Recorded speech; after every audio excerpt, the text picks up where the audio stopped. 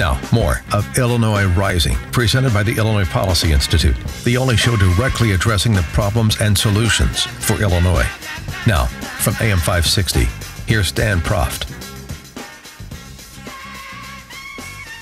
Welcome back to Illinois Rising. I'm Pat Hughes of the Illinois Opportunity Project, filling in for the great Dan Proft. Joining me today uh, is Michael Lucci, who's Vice President of Policy at the Illinois Policy Institute. Um, hey, Mike, uh, another strike. City of Chicago Teachers Union. Uh, Friday, they did a one, last Friday, they did a one day strike. Uh, causing all kinds of problems and embarrassing themselves. Uh, and now the um, uh, Chicago public school system is looking to sue them because they're saying that strike is illegal. Um, this is like I love this is like the French and Indian War, where like England and France fought for a country they were never going to control. These are the two worst groups in America going at each other. Uh, and I want to bring uh, Jeff Schwab, who is uh, an attorney uh, and a colleague of mine at the Liberty Justice Center. For the listeners who don't know, I'm president of the Liberty Justice Center. And Liberty Justice Center is a uh, public interest law firm that fights uh, for people's constitutional rights. Jeff, thanks for joining us. Thanks for having me on, Pat. Hey, tell us a little bit about why. Um, uh, CPS is uh, suing CTU and you know and why they can have each other? well, uh, CTU's one-day strike is uh, illegal under Illinois law because uh, the law and under which uh, the strike strikes are authorized, the Illinois Educational Labor Relations Act, basically requires certain conditions be met before. Um, before uh, the union goes on strike. One of those conditions is that if the parties are uh, are engaged in fact finding, then the fact finder has to issue a report, and then 30 days has to pass after that report is issued and CPS and CTU are currently in fact finding, and there's no report yet been issued. So one of the major conditions of uh, a strike has not been met, and therefore uh, CTU can't strike. Jeff, as you point out, it seems pretty clear that there was a violation of the state law on this issue. What do you think that says for CTU's regard for the rule of law when they're sort of just going to flout the law to make a political statement at, at, at the cost of Chicago school children and Chicago parents who have to suddenly figure out what they're going to do to take care of their kid who's not going to be able to go to school that day. Well, yeah, I mean, CTU is claiming that this strike was about an unfair labor practice, uh, and that unfair labor practice actually um, is already before the uh, Illinois Educational Labor Relations Board, which is, by the way, the board that um, CPS has filed their complaint against CTU uh, uh, on. And uh, and that board has actually already issued a ruling denying an injunction against uh, that CTU asked it to uh, to issue on that issue of unfair labor practice.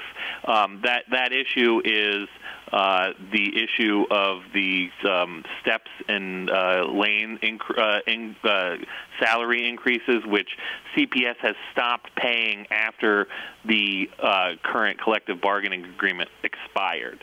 Um, so that was their justification for the strike. The problem is that the actual strike seemed to have little, if nothing, to do with uh, with that issue. It had everything to do with political statements uh, against Rahm Emanuel, uh, Governor Rauner, and uh, and CPS. So uh, it, it doesn't seem like uh, the the justification is really the real reason that they went on strike. Hey Jeff, it's Pat. Um, so I, I went to Chicago Public Grade School many, many years ago, and there used to be strikes frequently, and I can remember them.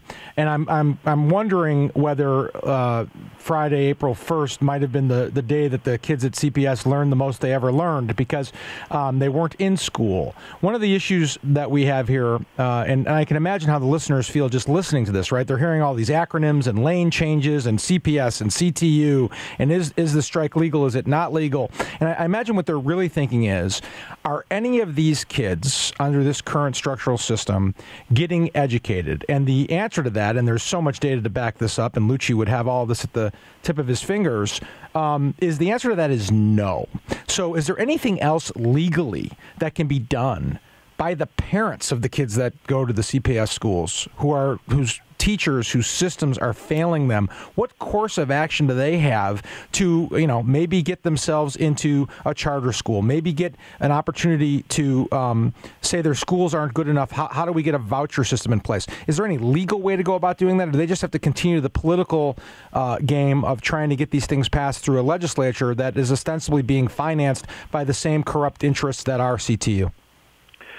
Well, I, I don't know of any uh, quick legal fix for. Then why the, do we have you on, Jeff? Why do we have you on if you don't know a quick legal fix? well, if I did, we you know we'd already be be taking action right. on that, right? Um, you know, we we we wouldn't let if I, if I had the answer, we wouldn't let the kids at CPS schools be uh, be suffering. We'd uh, we'd go after it. So.